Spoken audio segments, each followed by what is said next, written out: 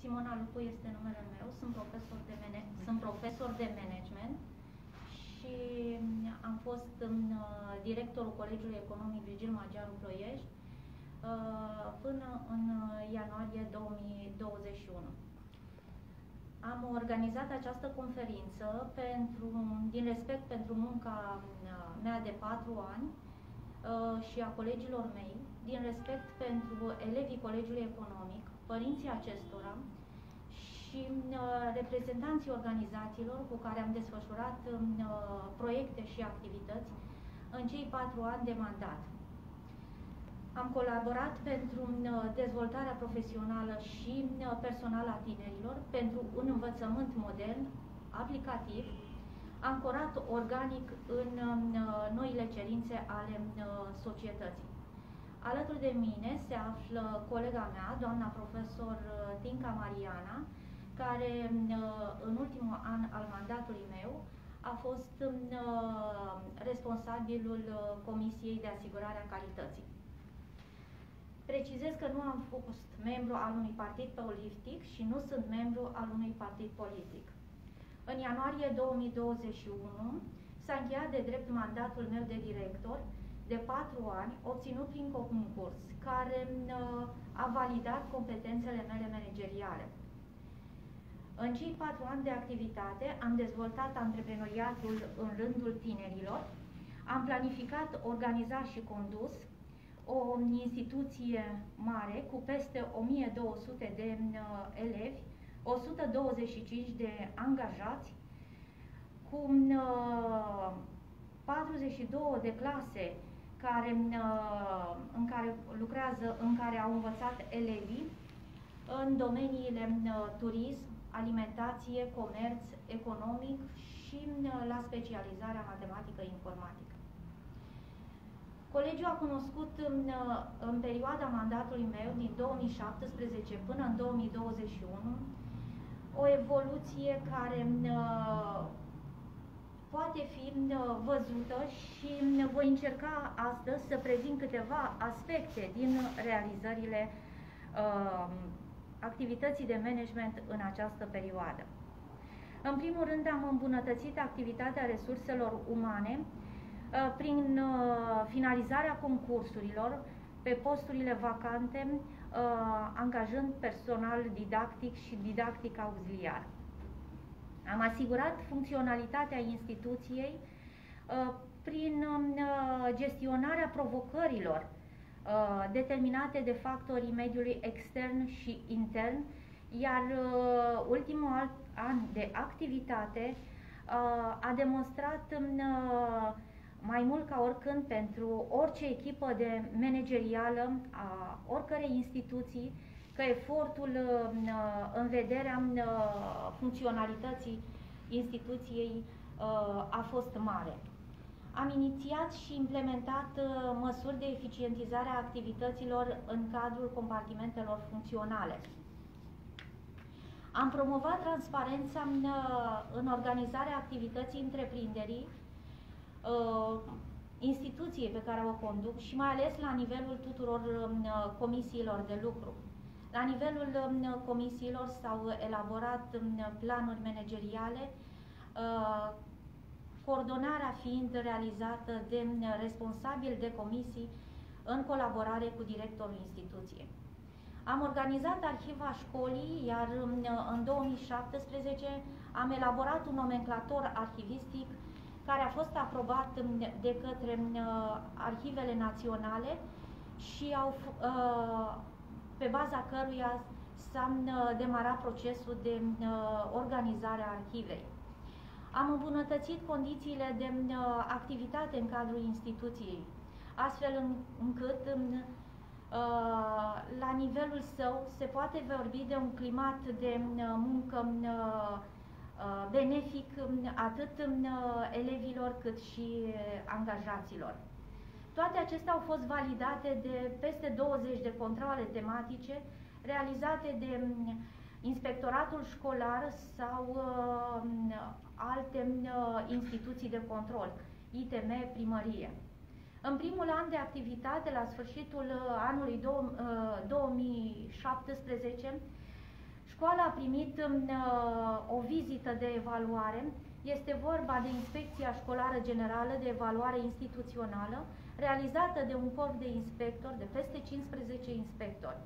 S-au analizat cele șapte arii tematice pe domenii management școlar, managementul calității, dezvoltare instituțională, eficiența atragerii și folosirii resurselor umane, financiare, materiale și informaționale, respectarea legislației în vigoare și a regulamentelor, curriculum național, activitatea personalului didactic, nivelul performanțelor realizate de elevi în învățământ, raportat la standardele educaționale naționale, modul în care unitatea de învățământ sprijină și încurajează dezvoltarea personală a elevilor și motivația acestora în învățare, relațiile unității uh, de învățământ cu părinții și cu comunitatea locală care s-au îmbunătățit permanent, atitudinea elevilor față de educație.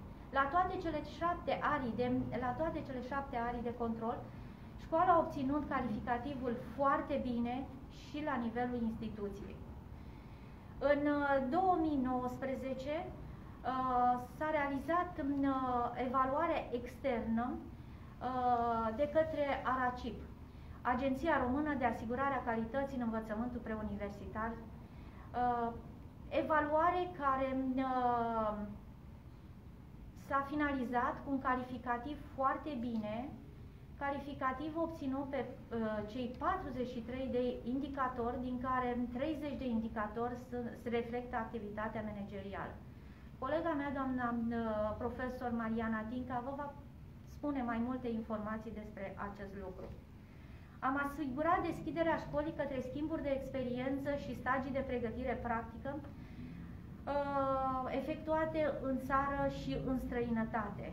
În cei patru ani de activitate, am uh, depus alături de colegi proiecte uh, cu finanțare, nouă proiecte cu finanțare europeană și, uh, și norvegiană. Patru dintre aceste proiecte au fost finalizate și apreciate de Comisia de Evaluare, iar cinci se află în derulare. Sunt proiecte, două proiecte POCU, în care vor fi implicați direct 364 de elevi. În toate aceste proiecte pot um, spune că vor beneficia de um, pregătire profesională de calitate peste 500 de elevi în mod direct și întreaga școală, adică aproape 1200 de elevi, în mod indirect. 30 de cadre didactice au fost implicate până acum în proiectele um, derulate. Resursele financiare atrase prin fondurile europene și norvegiene sunt în valoare de 1.200.000 de euro, resurse destinate în special instruirii elevilor și dotării școlii uh, pentru uh, îmbunătățirea activității și performanțelor lor școlare. Am practicat un management um, educațional recunoscut și apreciat. În 2019, când multe școli au pierdut titulatura de colegiu, pe baza dosarului realizat și a performanțelor elevilor și colegilor, școala își menține din nou această titulatură. În 2019 obținem titulatura de școală europeană pentru uh, implicarea instituției în programe europene din domeniul educației, pentru calitatea și coerența managementului școlii, reflectat în documentele școlare, și manageriale, precum și impactul pe care aceste activități derulate în cadrul proiectelor europene l-au avut asupra culturii, organizației și asupra etosului școlii în ultimii ani. Diplomă de excelență acordată de Edu Manager, organizația companii și oameni în 2018 pentru atitudine managerială, implicare în actul educațional inovație, creativitate în învățământ și comunicare performantă. Școala antreprenorială în 2018, titlu acordat de Ministerul Educației împreună cu organizația Junior.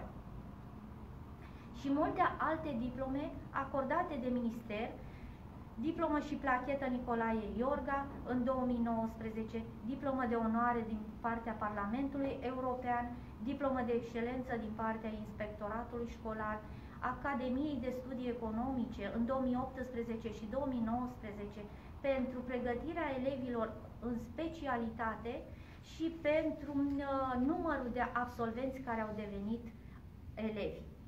Proiectele derulate, în proiecte care au fost derulate împreună cu echipe de profesori, fără implicarea directorului actual, dar cu participarea personalului școlii în funcție de fiecare tip de proiect.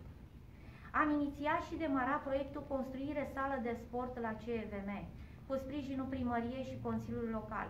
Obiectiv de investiție introdus pe lista de sinteză a subprogramului Săl de Sport, aprobată prin ordin, Ordinul Ministerului Dezvoltării Regionale și Administrației Publice numărul 6534 din 2018.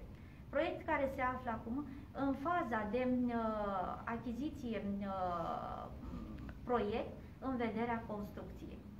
Am asigurat un climat educațional consecvent, moral și cultural pentru o dezvoltare personală, intelectuală a elevilor și uh, a personalului școlii. Peste 80 de premii sunt obținute anual de către cadrele didactice, ca urmare a acelui climat în care se pot dezvolta personal atât elevii și profesori. Personal am obținut în fiecare an cel puțin un premiu la Olimpiada Națională pe domeniul economic, turism sau la concursurile de antreprenoriat organizate de Centrul Național de Dezvoltare a Învățământului Profesional și Tehnic din România, um, uh, Business Plan. Am inițiat și coordonat un incubator de afaceri la nivelul instituției. Astăzi 32 de firme sunt coordonate de 13 cadre didactice și mă gândeam zilele trecute că în această lună se împlinesc 20 de ani de la, de la inițierea acestui concept în România. Am fost profesorul pregătit să formez alte cadre didactice la nivel de județ în implementarea acestei metode moderne de predare-învățare centrată pe elevi. Am organizat concursurile de antreprenoriat Romanian Business Challenge și Târgu Firmelor de Exercițiu, timp de 11 ani, iar în ultimii 3 ani, de când sunt directorul, în 4 ani, da, în ultimii 4 ani, de când sunt directorul de, de instituției, aceste concursuri s-au dezvoltat, ajungând la participări de 100 de firme și peste 500 de elevi. Am implementat cu succes digitalizarea la nivelul instituției împreună cu o echipă de profesori coordonată de uh, Alina Moise încă din prima săptămână a intrării uh, țării în stare de urgență. Profesorii au fost consiliați, sprijiniți, astfel încât să desfășoare activitate eficientă pe platforma recomandată de minister uh, la momentul respectiv. La două luni de la activitate, uh, activitatea online, Colegiul Economic Virgil Magiaru venea cu două concursuri internaționale. Este vorba de Târgu Firmelor de Exercițiu și Romanian Business Challenge desfășurate online erau acele concursuri care se pliau pe recomandările Ministerului de a atrage elevii de a, uh, către uh, activități în perioada de uh, stare de urgență, activități online, activități atractive. Mai mult decât atât, am desfășurat un simpozion internațional de trei ani cu participări al un, a unor personalități din uh, internaționale doamna Zvenia uh, Zen, care este managerul cele mai mari organizații internaționale care coordonează peste 7500 de firme de exercițiu, a participat la conferința de presă. Directorul Centrului de Dezvoltare a firmelor de exercițiu din Bratislava, doamna uh, inspector uh, Gabriela Coreca și alți uh, speaker de seamă la nivel național. Am organizat cu succes examenele de BAC, de competență, pe, uh, competență profesională în comisiile din care am făcut mm-hmm. parte și am sprijinit inspectoratul școlar în cei patru ani de activitate ca director în derularea uh, centrelor de evaluare zonală în calitate de școală gazdă, dar și în organizarea unor olimpiade naționale. În cei patru ani de activitate am primit calificativul foarte bine pentru activitate managerială, calificativ acordat de Inspectoratul Școlar Prahova. Pentru un punctaj de peste 95 de puncte din 100. Toate acestea contravin cu declarațiile doamnei inspector general Ilona Rizea privind neacordarea prelungirii mandatului pe motiv de management defectuos. Afirmație făcută în interviul din 11 întâia, încălcând deontologia profesională prin denigrarea activității mele manageriale în spațiu public, printr-o acțiune specifică mediului politic. Afirmația s-a bazat pe reclamații nefondate făcute de doi angajați ai instituții, apropiați susținerii conducerii actuale, cu accent mai mult pe formă decât pe conținut, care vizau aspecte legate de contractul individual de muncă pentru uh, plata cu ora, fișa postului, um, lucruri care uh, se realizează la nivelul uh, fiecarei, uh, se realizează anual. Pentru o instituție cu un domeniul, um, pentru o instituție din tehnologică, la începutul anului școlar, se realizează cel puțin 80 de contracte de muncă pentru plata cu ora. Fiecare profesor care are o oră la plata cu ora pentru acesta se va încheia un contract de muncă. Contractele au fost încheiate la termen, înregistrate în revisal, așa cum precizează raportul ITM realizat în decembrie. Problema a fost de nedistribuirea acestor contracte de muncă și fișale postului la termen, în condițiile în care școala a întâmpinat în perioada aceasta de pandemie diferite provocări compartimentul secretariat din septembrie până în decembrie, format din uh, secretarul șef, secretar și mai sunt încă două persoane, analistul programator care sprijină uneori activitatea secretariatului și un casier care, cu o jumătate de normă, care sprijină activitatea secretariatului. Deci cei doi secretari ai instituției, 5 săptămâni au fost în izolare Activitatea aceasta de distribuire, așa cum cunoaștem a documentelor, se realizează de către secretariat. În condițiile în care au murit oameni, în condițiile în care toate instituțiile au, jucat, au funcționat cu jumătate, la jumătate din activitate, este greu anumite termene să fie respectate. Dar, în schimb, lucrările au fost corect realizate, așa cum au demonstrat și controlele efectuate la nivelul instituției. Controle au venit și la începutul anului școlar. În uh, septembrie, înainte de uh, începerea anului școlar, fiecare instituție a fost controlată de o echipă formată din reprezentanți din partea Inspectoratului Școlar, Prefectură, DSP, DSV și ISU.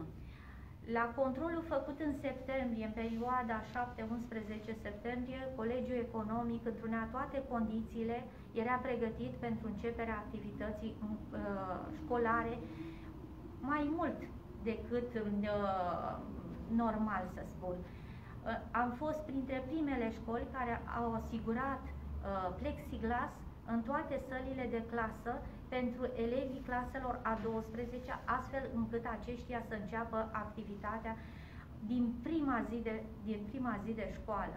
Au mai urmat încă două controle ale, uh, ale inspectoratului școlar, controle care au demonstrat prin rapoartele prezentate, care pot fi puse la dispoziție oricând, uh, de instituția pe care am condus-o, că activitatea școlii se desfășoară în condiții normale, în condiții optime, cu asigurarea ă, stării de sănătate și siguranță pentru personalul școlii și pentru uh, elevi.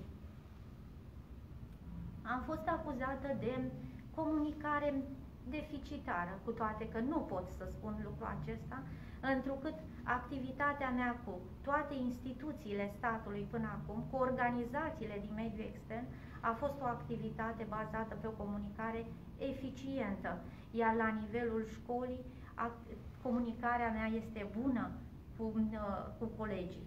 Este adevărat că din 125 de angajați, poate maxim 10 sunt cei care uh, au probleme și au o anumită ostilitate către colegi, către management, către instituție, dar tot ei fiind cei care reclamă o lipsă de comunicare eficientă.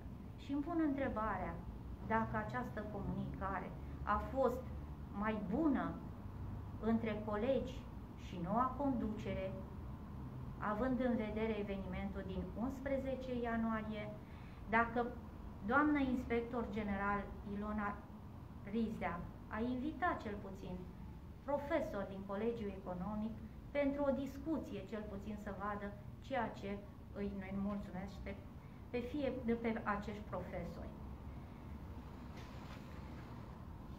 Mai este încă o problemă legată de procedura.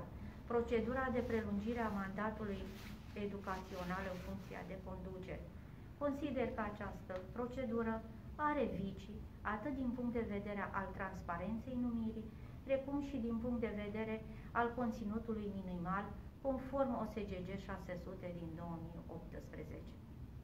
Procedură care a generat disfuncționalități la nivelul învățământului, în general, și în particular și la nivelul instituției pe care o conduc. Consider că am avut un mandat de director cu provocări. Frumos. Un mandat managerial performant. Și întreaga mea activitate managerială a susținut implementarea în organizația unor principii, a unor valori, cu scopul dezvoltării unei culturi a succesului, bazată pe performanță, pe muncă, pe talent, pe onestitate și pe integritate. Vă mulțumesc! La final, la final am dorit să vă, vă mai întreba lucrul acesta. Veți contesta procedura prin care ați fost destituită din funcție?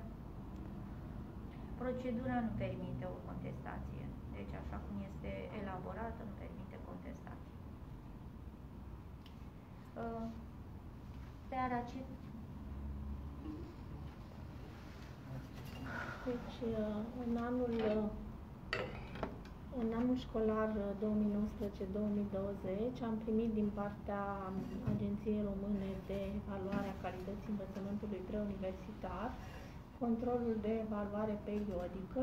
Inspecția s-a desfășurat în perioada 27-29 noiembrie în 2019 au fost câteva probleme. Am preluat uh, această comisie în septembrie 2019. Ea a fost coordonată de fostul director adjunct uh, alș școlii și uh, fișa de evaluare a fost, propus, a fost uh, depusă la agenție în anul 2018. Din uh, motive de nerealizare și neîntocmire probabil corectă a documentației a fost respinsă. În anul 2019 am reluat procedura, am mers atunci la doamna director Lucu și am explicat că fiind uh, nou numită în funcție, va fi foarte greu să realizăm acest control. Am înțeles că dacă nu vom realiza în termenii stabiliți de cei de la agenție, vom pierde unele uh, acreditări și atunci uh, ne-am mobilizat ca să reușim să facem uh, această vizită. Uh, am întâmpinat o serie de probleme de logistică, de blocarea platformei, uh, încărcarea platformei uh, și totuși am depășit momentul. Coordonatorul operativ, așa cum uh, prevede regulamentul, este directorul adjunct. La momentul respectiv era doamna profesor Cristescu Corina. Am avut o colaborare nu tocmai ok pentru că, după cum știți, realizarea documentelor implică și niște riscuri și niște asumări. Am trecut uh, acest control cu bine. În urma vizitei, uh, în calitate de responsabil, uh, am răspuns tuturor cerințelor echipei și corect era să facă lucrul acesta doamna profesor Corina Cristescu. Am luat, în urma vizitei, cele, pe cei 43 de indicatori calificativul foarte bine. În tot acest uh, demers, uh, eu am rezolvat problemele mm, care au apărut împreună cu doamna director Lupu la momentul respectiv. Că spuneți de asumare, ce înseamnă? Doamna Cristescu trebuia să semneze ceva și nu a semnat? Sau nu v-a Uh. ajutat? La ce vă referiți? Da, deci uh, când este vorba și de semnat, dar și uh, de a fi ajutat uh, în uh, partea legislativă, pentru că până la urmă trebuie cunoscută legislația și aplicată corect. Adică acela a fost un moment în care În care uh, mi-am dat seama că comunicarea este uh, un pic rigidă. Noi lucrăm în, sis- în aceste comisii uh, ajutându-ne unii pe ceilalți, nu punându-ne piedică. în În acest echipă. moment am înțeles În că mai echipă. mulți profesori s-au retras din aceste comisii. Da, inclusiv Puteți să eu ne mi-am spuneți? depus uh, demisia din această comisie pentru că în uh, septembrie, când se fac, se constituie comisiile conform regulamentului școlar, uh, dumneavoastră s-a înscris să participe, să fie uh, membru în această comisie, iar colegii nu au votat. Ce se întâmplă când profesorii refuză să facă parte din aceste comisii? Sunt uh, Cum e afectată reorganizate, activitatea școlii? sunt reorganizate comisiile și probabil că vor fi alți colegi care își vor asuma această responsabilitate. Deci comisiile se vor constitui din nou acolo unde demisiile s-au făcut, conform regulamentului, se va face un consiliu profesoral, se va supune votului și se va constitui din nou comisia respectivă. Și dacă nici de data aceasta nu vor fi colegi care vor dori să facă parte din comisii, Probabil se va insista pe acest demers sau va interveni în forurile superioare mă, școli.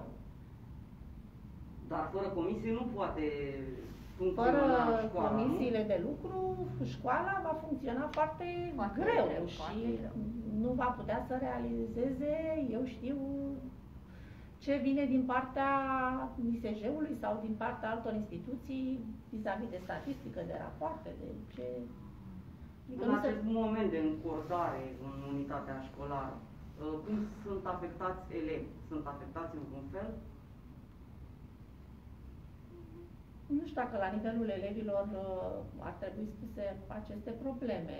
Cred că activitatea didactică ține de fiecare profesor și ar trebui să se desfășoare normal și în conformitate cu regulamentul școlar. Nu cred că elevii ar trebui să fie implicați în această tensiune. Și nu știu dacă... Da, Eforturile nu- vor fi făcute din partea cadrelor didactice, din partea noastră a fiecăruia, astfel încât aceste, uh, aceste uh, probleme ale, de organizare ale instituției să nu le afecteze lor uh, activitatea.